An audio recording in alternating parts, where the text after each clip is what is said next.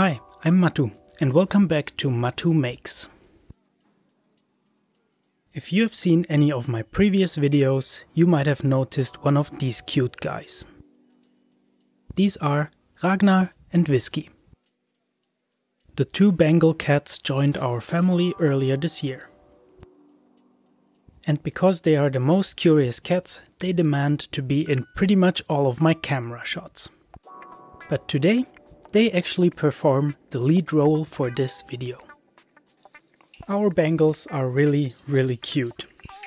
However, since recently, whenever we want to use the bathroom, we get something like this.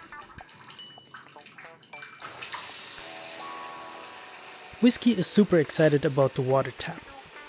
And he has learned to open it himself or to up the pressure if he isn't satisfied with the flow. This isn't so great for our water consumption, so we put rubber bands on the tap and decided to give the kittens an alternative to play with. So I went on to design a water fountain. And haven't I done something with flowing water before? Well yes, I designed a compact 3D printable hydroponics system. It's one of my first YouTube videos. If you are interested in that video, just follow the link in the description.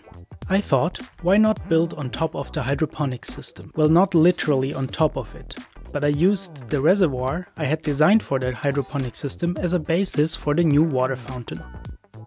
As the hydroponics water reservoir is in active use, I decided to 3D print another one. Let's fire up the 3D printer and get this started.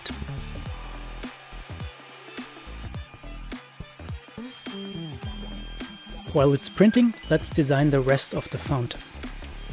On top of the reservoir, I'm adding a water basin.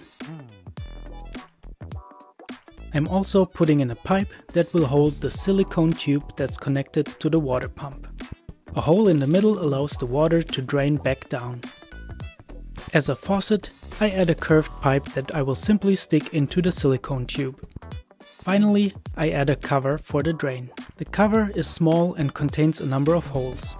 This part is easily redesigned and quickly 3D printed in case I want to adjust how quickly the water drains. With the design ready, it's time to 3D print the additional parts.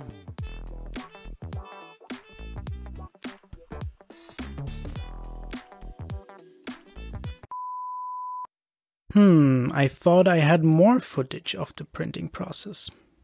I guess the camera battery was out of juice. Then let's simply jump ahead. In the meantime, I have coated the water reservoir with two layers of resin to make sure it doesn't leak.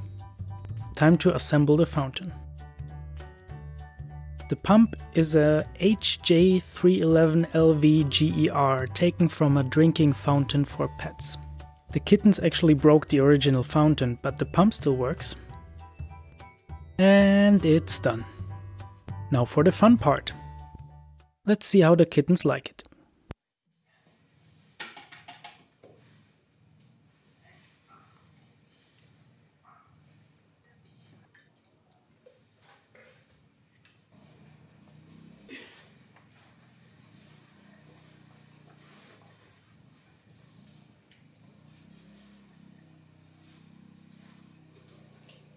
Well, they aren't super enthusiastic, but they're definitely interested.